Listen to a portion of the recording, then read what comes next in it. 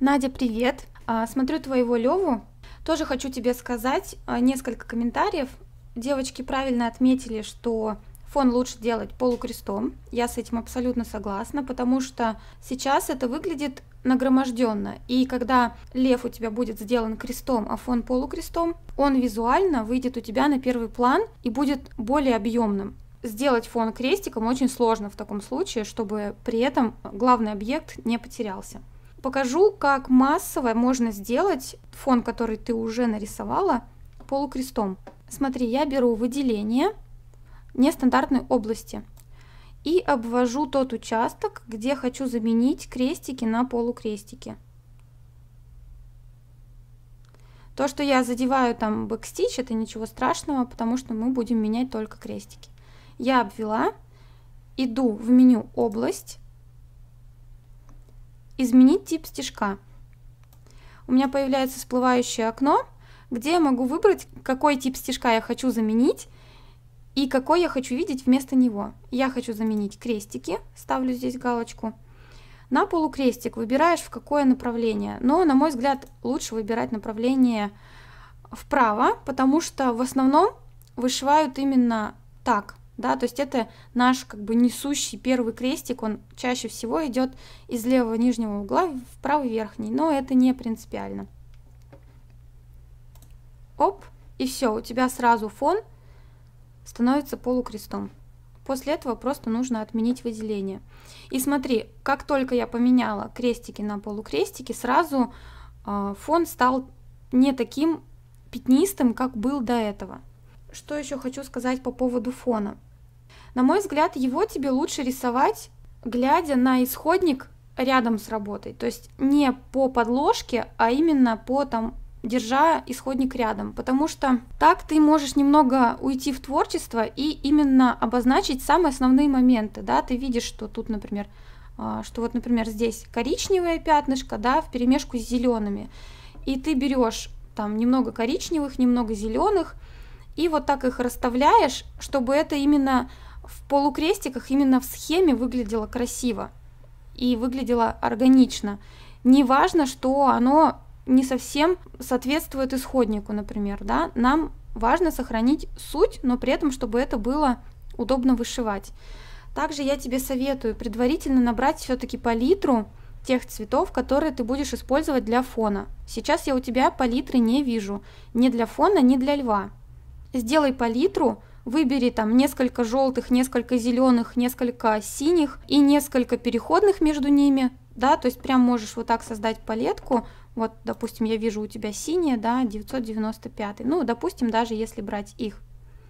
995, потом берешь, например, какой-то зеленый, вот я у тебя вижу зеленый, очень насыщенные у тебя цвета, но я тебе советую взять парочку там, несколько синих, несколько зеленых, и можешь смешать вот этот синий и зеленый. Он будет у тебя играть роль переходного. Далее берешь, например, коричневый и смешиваешь зеленый и коричневый. Он тоже будет у тебя играть роль перехода.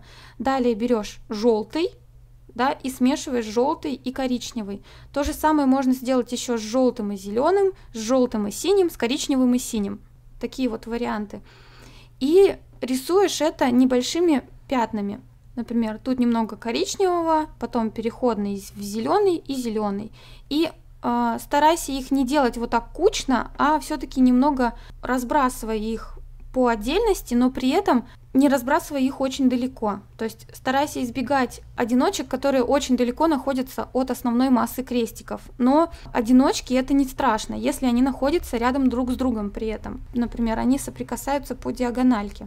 То же самое для льва. А, у тебя сейчас а, отлично нарисована голова. Мне на самом деле очень нравится, как, как ты сейчас с ней справляешься. Тут прям много цветов есть, но переходы вообще незаметно. А, вижу, что ты используешь тут шахматку, да? Да. Но поаккуратней. Потом, после того, как ты все закрасишь, постарайся почистить вот такие моменты, которые там далеко друг от друга находятся, например, какие-то одиночные три четверти креста. Поэтому я тебе советую нарисовать палитру все-таки и придерживаться ее. То есть нарисуй палитру цветов, которые ты используешь для льва, для того, чтобы не заигрываться и не залезать лишний раз в палитру, чтобы у тебя не было соблазна взять еще какой-то цвет дополнительный и еще его вставить.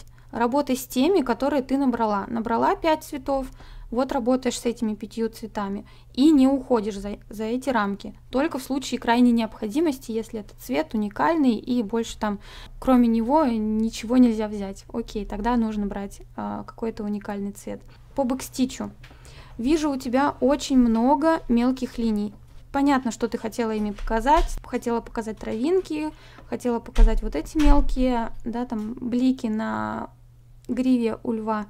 Но держи в уме, что вот эти очень маленькие линии, вот эти, особенно если они находятся между двумя крестиками, а они находятся у тебя между двумя крестиками, они провалятся на вышивке, провалятся туда, в этот промежуток, и их совсем не будет видно. И тебе вышивальщица задаст вопрос, Какого, спрашивается, я здесь вышивала эту линию, если ее здесь даже не видно на готовой работе. На готовой работе ее не будет видно, точно так же, как и эту линию.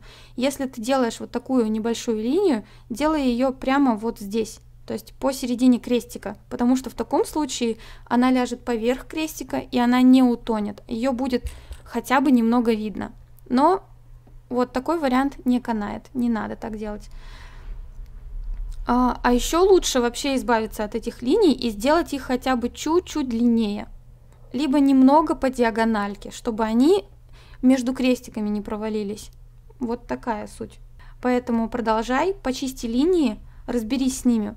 Убери лишнее, ты всегда их можешь добавить потом поверх э, крестиков, когда ты уже все отрисуешь. Лучше сейчас не мельчить с линиями, не рисовать лишнего.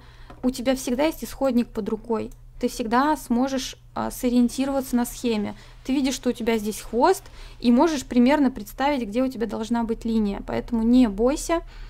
Исходник под рукой, ты всегда линии нарисуешь.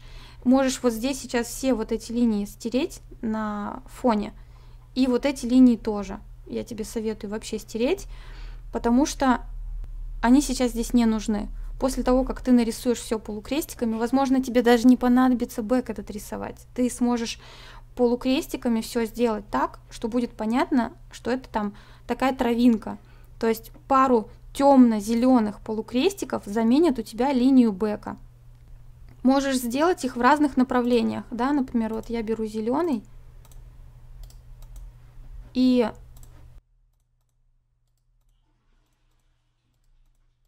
делаю вот, не знаю, какой-то такой похожий узор, и они заменяют у меня вот эту линию, например, и вот эту линию, да, вместо, вместо бэка упрости задачу и сделай полукрестиками.